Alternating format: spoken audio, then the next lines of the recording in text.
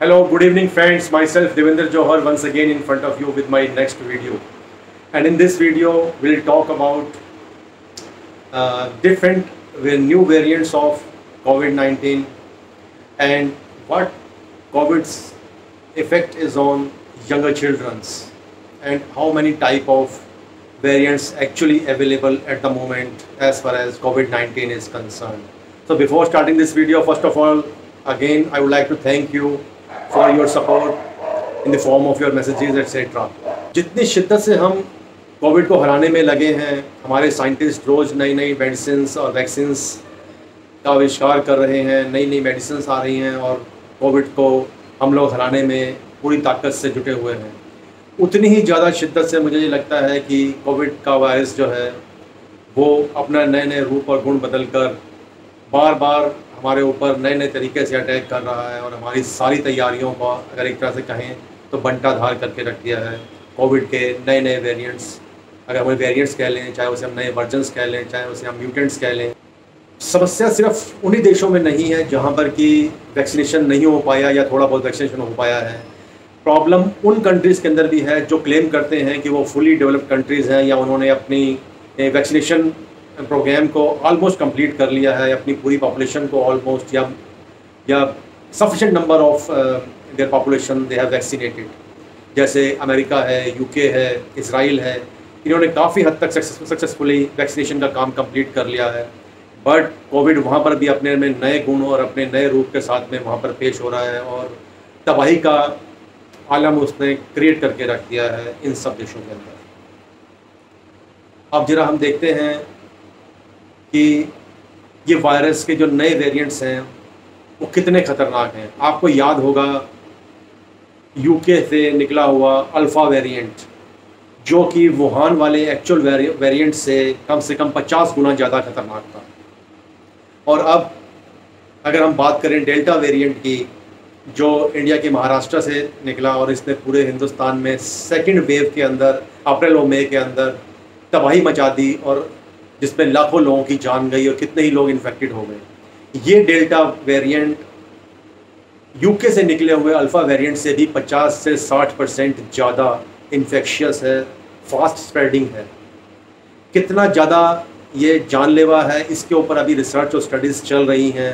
सकते कि ये ज़्यादा जानलेवा है, ज़्यादा घातक है but yes this is fast spreading और ज़्यादा लोगों को तेज़ी से इन्फेक्ट कर सकता है। आइए हम जानने की कोशिश करते हैं कि वायरस एक्चुअली में ये है क्या? क्या ये जीव है या निजीव है? वायरस जो है, इसमें अपने आप में इसकी कोई ना तो इसमें कोशिकाएँ होती हैं, ना इसके अंदर कोई ऊर्जा होती है ये किसी मानव शरीर के ऊपर अटैक करता है, जाकर उसकी कोशिकाओं से चिपक जाता है और वहाँ जाकर कोशिकाओं को धीरे धीरे निष्क्रिय करना शुरू कर देता है और उसके बाद में अगर ये ज़्यादा देर तक हमारे शरीर में रह जाता है, वैसे तो कई वायरस ऑटोमेटिकली अपने आप मर जाते हैं, लेकिन जो ज़्यादा स्ट्रॉन्ग वायरस हैं वो बॉडी में जाकर हमारे ऑर्गन्स को धीरे धीरे जाकर कमज़ोर करना शुरू करते हैं, निष्क्रिय करना शुरू कर देते हैं और फिर धीरे धीरे बॉडी के ऑर्गन्स डैमेज होना शुरू हो जाते हैं लंग्स हो किडनी है या और भी कोई इंपॉर्टेंट हमारे बॉडी के ऑर्गन्स हैं। दुनिया में करोड़ों वायरस हैं। करीब तीन लाख से ज़्यादा एक साइंटिफिक स्टडी कहती है कि तीन लाख से ज़्यादा वायरस तो खाली मैमल्स स्तनधारी जीवों में ही पाए जाते हैं। बाकी कितने जीवों में, पशु पक्षियों में, वनस्पति में कितने वायरस और कितने जीवाणु होंगे, उनकी कोई गिनती ही नहीं है। मे भी दस, बीस, पचास लाख या करोड़ भी वायरस हो सकते हैं। लेकिन सारे के सारे ये घातक नहीं होते, जानलेवा नहीं होते इनफैक्ट कुछ हमारे शरीर के लिए ज़रूरी भी होते हैं। जैसा कि हमने पहले जाना कि वायरस में अपना कोई ऊर्जा या उसकी कोई कोशिका नहीं होती, वैज्ञानिक इनको रसायन और जीवन के बीच की जो बॉर्डर लाइन है, वहीं कहीं इनको फिट करते हैं वायरसेस को। वायरस के जो नए म्यूटेंट्स अगर हम कोविड की बात करें तो इसके जितने नए म्यूटेंट्स आए हैं, वो कितने फास्ट स्प्रेडिंग है, ये डिपेंड करता है उस वायरस की आर नोट वैल्यू कितनी है। वुहान से निकला हुआ जो ओरिजिनल वायरस था कोविड का, उसकी जो आर नोट वैल्यू थी, वो 2.1 थी। उसके बाद में अल्फ़ा वेरिएंट जो यूके से निकला उसकी जो आर नोट वैल्यू थी, वो 4.1 थी, जिसने कि यूके में बहुत बड़े स्तर के ऊपर इन्फेक्शन फैलाया और वहाँ पर आने वाली दूसरी और तीसरी वेव के लिए रिस्पॉन्सिबल माना गया। बट हिंदुस्तान के महाराष्ट्र से निकला हुआ जो म्यूटेंट था, जिसका नाम डेल्टा और अब डेल्टा प्लस के भी कुछ केसेस निकल कर आए हैं, इनकी आर नोट वैल्यू 8.2 है।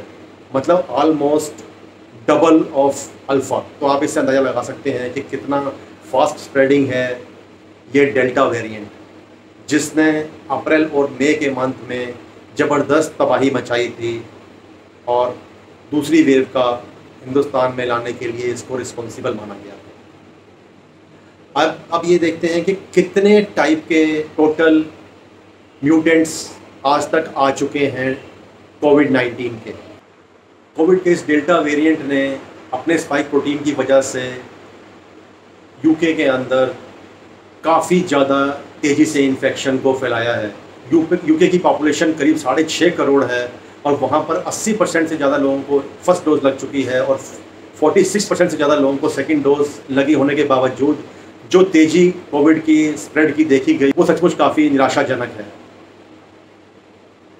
डेल्टा वेरिएंट का जो स्पाइक प्रोटीन वाला पार्ट है, ये ज़्यादा हार्मफुल है, ज़्यादा डेंजरस है, जो मानव शरीर में एंटर करने के बाद में शरीर में ऑक्सीजन की कमी कर देता है, सांस लेने में दिक्कत होने लगती है और उसी सब का रिज़ल्ट था कि जो यहाँ पर लेटेस्ट यूके के अंदर इतनी ज़्यादा लोगों के अंदर इन्फेक्शन फैला। हालाँकि हॉस्पिटलाइजेशन होने की जो परसेंटेज है वो काफ़ी बढ़ गई थी बट ये है कि जो लोगों की जान जाने की जो दर है वो कंपेरेटिवली काफ़ी कम थी, जो कि एक अच्छी खबर है।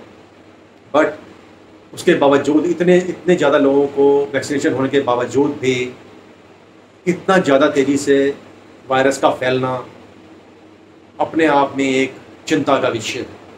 अब हम ये जानने की कोशिश करते हैं कि जो नए वेरिएंट्स हैं, इनके ऊपर वैक्सीन कितनी इफ़ेक्टिव हैं। फाइज़र जो वैक्सीन है, उसके ऊपर फ़र्स्ट डोज के बाद 94 परसेंट और सेकेंड डोज के बाद 96 परसेंट की एफिकेसी रेट देखा गया था।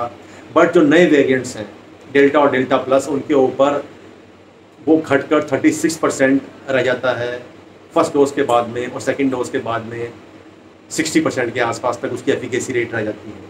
इसी तरीके से अगर हम अस्ट्राजेनिका की वैक्सीन की बात करें, जो यूरोप में है या जो इंडिया में कोविशील्ड के नाम से है। उसके अंदर भी फ़र्स्ट डोज पे 75 परसेंट के आसपास की एफिकेसी रेट थी और 92 परसेंट की एफिकेसी रेट थी नॉर्मल कंडीशन में। बट नए जो म्यूटेंट्स हैं, नए जो वेरिएंट्स हैं, डेल्टा डेल्टा प्लस या इवन अल्फ़ा, उनके उनके ऊपर इनकी जो एफिकेसी रेट है, वो फ़र्स्ट डोज के ऊपर 30 परसेंट और सेकेंड डोज के बाद 67 परसेंट तक आ गई है। तो इसका एक कंक्लूज़न इन स्टेटिस्टिक्स का यही है कि वैक्सीनेशन करवाना बहुत ज़रूरी है। आपके पास में और कोई सब्सिट्यूट नहीं है। वैक्सीनेशन अपना ज़रूर करवाएँ, जल्दी से जल्दी करवाएँ। चाहे बेशक उनकी एफिकेसी रेट थोड़ा सा कम हो जाएगा न्यू म्यूटेंट्स के ऊपर। WHO ने अभी तक कोविड 19 के 11 वेरिएंट्स को रिकॉग्नाइज किया है। इन 11 में से चार वेरिएंट हैं अल्फ़ा बीटा गामा और डेल्टा डेल्टा प्लस जिनको के डब्ल्यू एच ओ ने वेरिएंट ऑफ़ कंसर्न की लिस्ट में रखा है मतलब ये चार काफ़ी डेंजरस हैं, काफ़ी ख़तरनाक हैं फास्ट स्प्रेडिंग हैं डेंजरस हैं। नेक्स्ट फोर हैं, eta, iota, kappa and lambda ये चार वेरिएंट हैं जिसके ऊपर डब्ल्यू एच ओ का कहना है कि वो इंटरेस्टेड हैं इनके बारे में डिटेल जानने में, जिनके बारे में अभी उनके पास में पूरी जानकारी नहीं है कि ये कितने ख़तरनाक है बट उन्होंने इसको अपने लिस्ट ऑफ़ इंटरेस्ट में डाल दिया है और इसके ऊपर वो रिसर्च कर रहे हैं कि कितने खतरनाक और कितने इंपॉर्टेंट ये नए वेरिएंट हो सकते हैं। इसके अलावा तीन वेरिएंट ऐसे हैं जिनको क्लासीफाई किया गया है कि they are not much harmful वो ज़्यादा खतरनाक नहीं है। तो रशिया में जहाँ पर उनकी वैक्सीनेशन का काम भी काफ़ी तेज़ी से हुआ था, वहाँ पर भी ये काफ़ी घातक रूप अपना दिखा रहा है। इसके अलावा अगर हम बात करें इंडोनेशिया की, वहाँ पर भी डेल्टा के केसेस बहुत तेज़ी से बढ़ रहे हैं और और इंडोनेशिया जो कि अपनी आबादी के हिसाब से दुनिया का चौथा सबसे बड़ा देश है और वहाँ पर भी डेल्टा की डेल्टा वायरस की वजह से कोरोना की सुनामी जैसी सिचुएशन हो चुकी हुई है।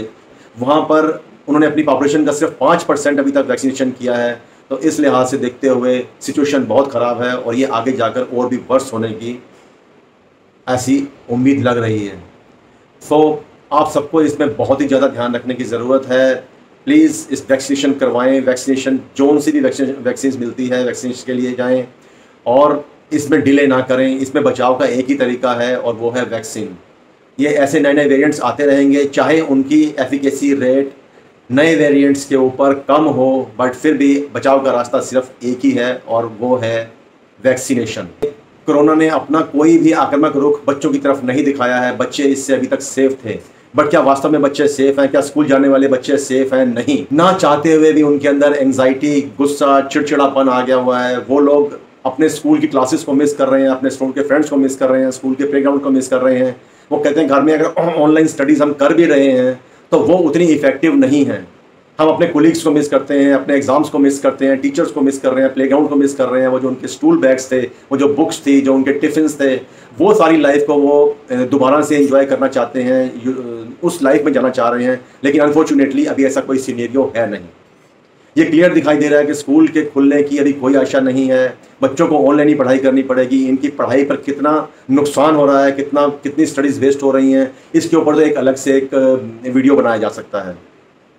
सो बच अपने बच्चों का ख्याल रखें, उनके कांटेक्ट में रहें और ये जित, जितनी भी एंजाइटी है, जितना भी ये गुस्सा है, जो बच्चों का चिड़चिड़ापन है, आगे जाकर एक हल्की फुल्की मानसिक बीमारी का रूप भी ले सकता है। बहुत से डॉक्टरों का ये कहना है कि बच्चों के अंदर होने वाली ये परेशानी आगे जाकर लॉन्ग टर्म में उनके लिए एक एक अच्छी खासी मुसीबत बन सकती है। इसके लिए भी उनको फ्री ट्रीटमेंट जाना पड़ेगा और बहुत से चाइल्ड स्पेशलिस्ट हैं जो कि ये बोल रहे हैं कि हमारे पास बहुत सारे बच्चे आ रहे हैं जो ये कह रहे हैं कि उनकी आँखों में दर्द है, किसी को सर में दर्द है, किसी को पेट में दर्द होना शुरू हो गया हुआ है।